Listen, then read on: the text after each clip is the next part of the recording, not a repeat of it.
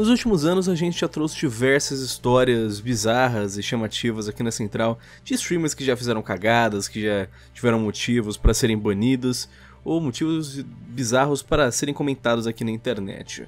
Mas olha, poucos streamers chegaram a um nível de fazer uma cagada tão fenomenal quanto a história que a gente vai passar para vocês hoje. Essa é uma história, na verdade, um pouco triste de um streamer que não é necessariamente uma pessoa ruim, nem uma pessoa que fez algo de errado, mas que cometeu um erro. Um erro que, por enquanto, está custando tudo da vida desse streamer: seu canal, seus contatos, sua equipe. Basicamente, ele perdeu tudo por um erro idiota, por uma cagada que poderia ter sido facilmente evitada e que ainda assim foi algo extremamente perigoso.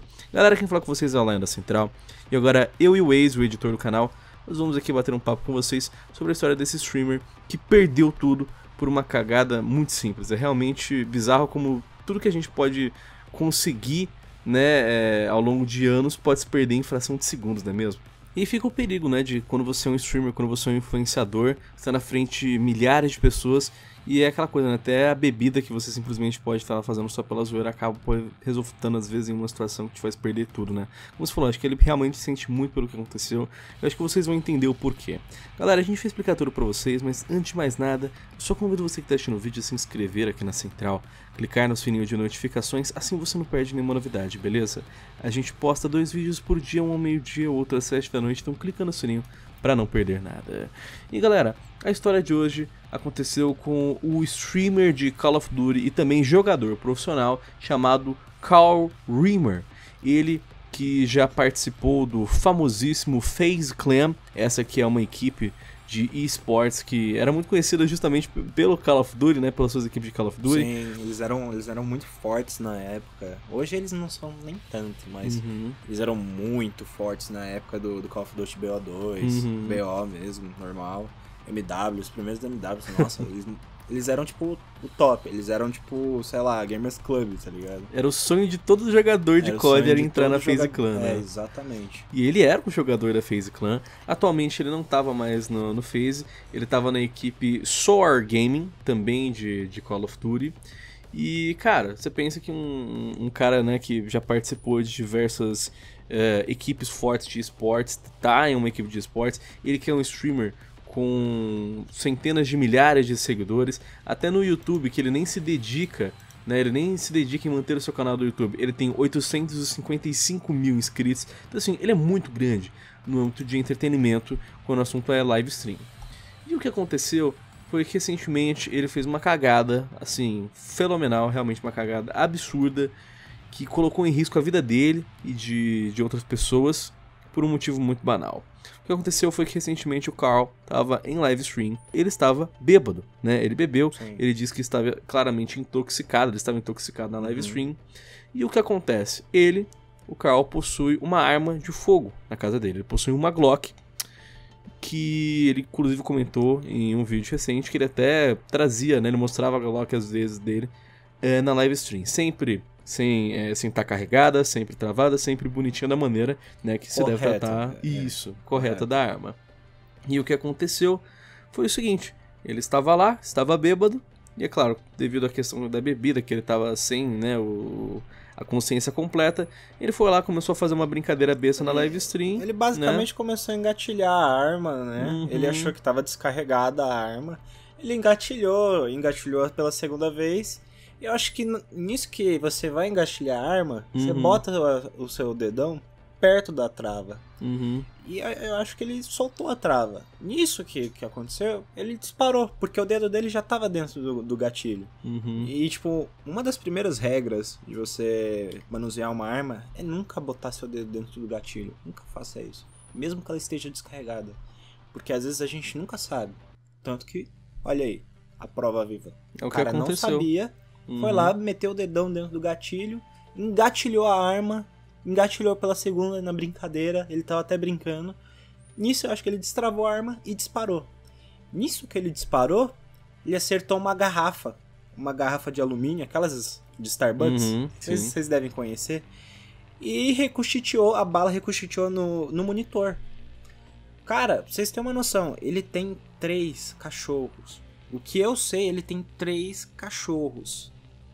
Cara, você imagina o que é você disparar uma arma dentro de casa e você tendo três vidas, meu. Meu, ele podia ter perdido nos cachorros, ele podia ter perdido a própria vida. Meu, ele poderia ter varado a parede, poderia ter, sei lá, chegado na casa do outro vizinho. Porque vocês sabem como é casa de, de americano, velho. Uhum. É tipo tudo de madeira. Malemar é de cimento. Aqui não acontece isso porque é tudo cimentado, mas, meu, lá fora, mano, é muito perigoso. É muito perigoso. Então, assim, vocês têm que saber como manusear uma arma, saber por que vocês estão manuseando uma arma, por que você quer ter dentro de casa uma arma. Tanto que ele, ele fala, né, dentro Uhum. da, da live stream dele, normalmente ele fala que ele tem a arma por, por precaução, por segurança, né? Mas assim, gente, não brinca com arma, real, não brinca. Quer brincar? Pega Airsoft. Airsoft é o mais próximo. O Lion sabe, vocês devem saber aí também, vocês viram já no Twitter o machucado que o próprio Airsoft faz. Vocês, não sei se vocês acompanham o meu Twitter, tem lá uma foto. Eu levei um tiro na- no rosto. Eu estava com proteção e ainda assim machucou. Uhum. Então, assim, imagina uma arma de verdade. É muito perigoso, entendeu? Quer ter alguma coisa semelhante? Tem uma Airsoft. Brinque com a Airsoft. Eu tava até comentando com, com o Lion aqui. Se você for ter algum tipo, quer brincar, brinca com Airsoft. No live stream, faça isso. Airsoft. No máximo. Entendeu? Então acontece, vocês veem nessas imagens aí chocantes, né, que estavam passando.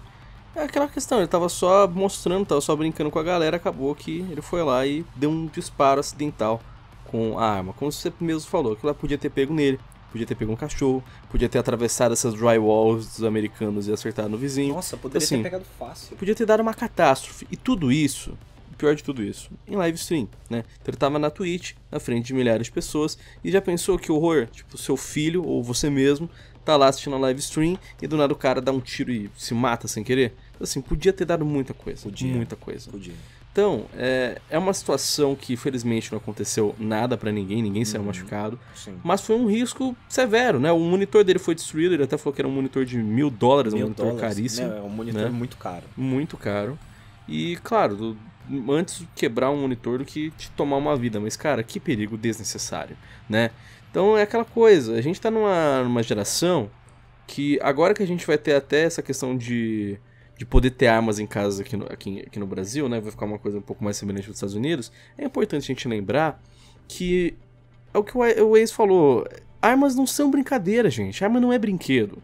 A questão da arma, como ele mesmo falou, é pra segurança. Ele falou na live stream dele que ele tem a arma, ele tem a Glock, justamente para poder se defender, para poder defender a namorada dele, para poder defender a casa dele, né? Porque a gente sabe que hoje em dia, até nos Estados Unidos, a violência é um problema. A gente tá falando de segurança, a gente não tem segurança aqui. Então a pessoa se sente segura tendo uma arma em casa para poder se defender numa situação dessas. Mas a arma, como ele falou que tá com ele há dois anos, olha só, o cara já tá com a arma há dois anos. O cara sabe que ele, em tese o que ele tava fazendo. Sim. Mas ele se deixou levar por causa do álcool e na hora só fez essa cagada. Então, olha só, um, um pequeno deslize, um pequeno deslize de segurança, um pequeno deslize de bebida pode acarretar em toda essa situação. ele perder toda a carreira dele, né? Porque ele, ele conseguiu tudo que ele tem graças à Twitch. Uhum. Não é nem pelo YouTube, não é nem, sei lá, pelo job dele normal. É mais pelo Twitch mesmo. Ele, ele falou que ele conseguiu comprar a casa dele, cara, com, com, com ganhos Com da o dinheiro Twitch. da Twitch, exato. Meu, cara, isso Não é. é pra qualquer um, Não né? é pra qualquer um, velho. Entendeu? Então, tipo, e ele foi, infelizmente, ele foi banido. Ele Exato. foi banido da Twitch. Recentemente, se você entrar no canal do Twitch deles, vai ver que o canal foi suspenso. Uhum. Em, em nota, a equipe de esportes que ele estava participando, a Soar Gaming, postou nas redes sociais que, abre aspas, nós não concordamos com as ações na live stream feitas pelo Carl na última noite, portanto, ele foi imediatamente e efetivamente removido do roster da Soar Gaming. Ou seja, o cara não tá mais na equipe de esportes dele, o cara perdeu o canal da Twitch dele. Em vídeo ele até comentou, né, que ele não ganha quase nada com o YouTube, o dinheiro do YouTube é porcaria, 100% da grana que ele ganha tá vindo da Twitch. Então assim, ele perdeu a sua equipe de esportes, perdeu o seu canal, a gente não sabe, nem ele, ele falou, ele não sabe se a, a Twitch vai desbanir, até porque é muito difícil considerando que, cara, atirar uma arma de fogo em live stream é proibido em basicamente todas, todas a- As diretrizes, as- né? as diretrizes da Twitch, assim, Sim. e, e não só da Twitch, mas em qualquer plataforma de live stream, basicamente, ele tá proibir de streamar. Então, assim. Vamos ser sinceros, né? Vamos, vamos ser sinceros. Não, não tá nem um pouco certo o que ele fez. Não. Ele sabe que não tá nem um pouco certo o que ele fez. Eu acho que isso se cabe.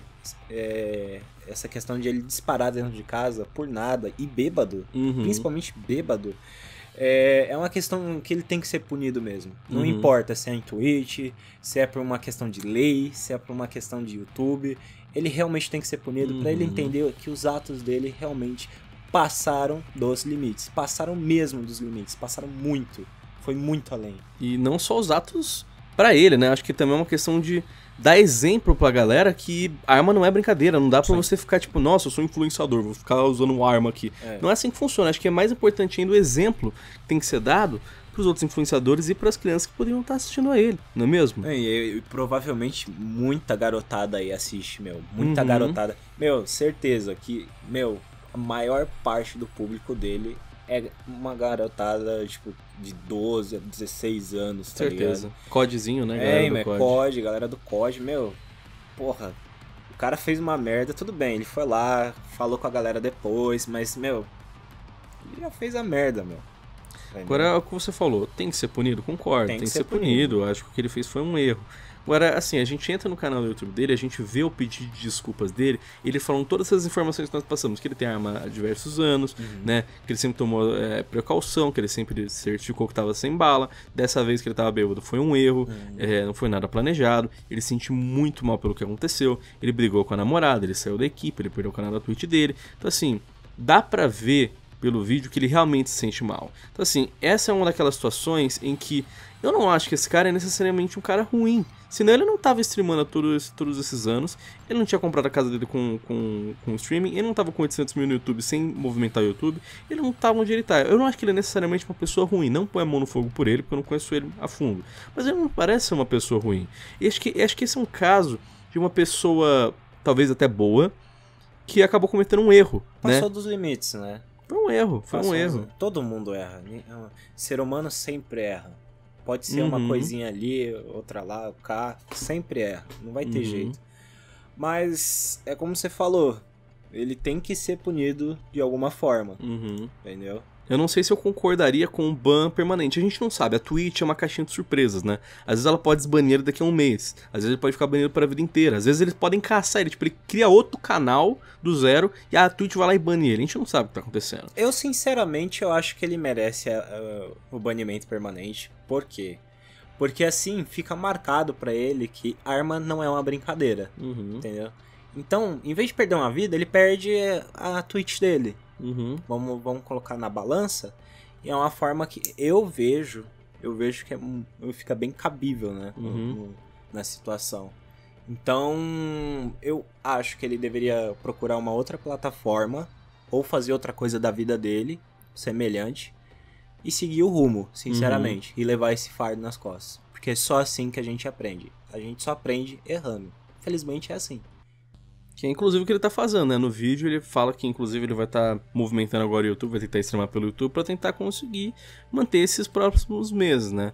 Mas honestamente eu acho o ban é, eterno, eu acho, na minha opinião, um overkill demais. Eu acho desnecessário, Ah, sabe? Mas eu se, acho for, que. se for assim, ah, muita gente que faz muita cagada na Twitch pode ir lá, ela é, ela é banida permanentemente, ela pode reivindicar os direitos dela e falar, ah, isso aqui pode ser maleável, e realmente não, não é, tá ligado? Tipo, Mas é o que mina- acontece. mas tipo... a mina mostrando os peitos de fora, isso já aconteceu, isso já Sim. realmente aconteceu.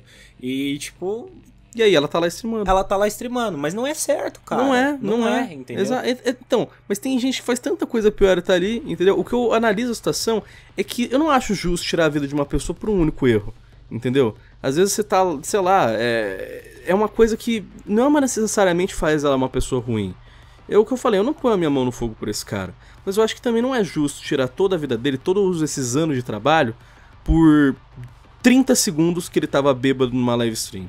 Felizmente ninguém saiu machucado, felizmente foi só um susto. Podia ter feito mal pra alguém? Podia. Mas eu não eu, pelo menos eu não acho justo definir uma pessoa por um único erro que rolou em 30 Não, segundos não, bêbado, Não, entendeu? realmente não dá pra definir uma pessoa, mas por exemplo, ele pode seguir o rumo dele, sei lá, no YouTube ou em outra plataforma, cara. Uhum. Entendeu? Pra mim, eu acho pesado o que ele fez. Ainda mais na Twitch que é o que você falou, tipo, a mina vai lá, fica pelada e não acontece nada. Aí o cara olha torto, ele é banido para sempre. Ainda mais na Twitch para mim que, que não tem nenhum tipo de justiça, sabe? Hum. Acho que esse caso aqui, se ele for banido para sempre, aí que é injusto mesmo, porque a Twitch não tem diretrizes corretas. Ela joga o dado para cima, ah, essa mina eu fui com a cara dela, vou banir. Ah, essa eu não fui, ela vai ficar de boas. É que traz entendeu? audiência, né? O que traz mais audiência eles mantêm, pode ser o é, que então. for, né? Mas é por isso que, que, acho que esse tipo de punição na Twitch é muito bizarro. Bem, de qualquer maneira, né, a gente tem opiniões diversas sobre a punição que vai acontecer com ele, mas. Uhum. E você que tá assistindo esse vídeo? E você que tá ciente de tudo que aconteceu agora? Qual que é a sua opinião? Você acha que ele tinha que ser banido permanentemente? Você acha que ele tinha que perder tudo? Você acha que foi só um erro? Vocês acham que ele merecia perdão? O que vocês acham da história do Carl Reamer. O que vocês acham desse, dessa cagada que custou toda a carreira dele? Deixe a sua opinião nos comentários e bora debater sobre a história desse streamer recente, beleza? Não se esqueça também de se inscrever e clicar no sininho de notificações para não perder nenhuma novidade aqui do canal. Enfim, galera, quem falou com vocês foi o Lion e Waze, muito obrigado pela sua atenção. Eu espero que vocês tenham um ótimo dia, uma boa sorte nos campos de batalha e até mais. Valeu!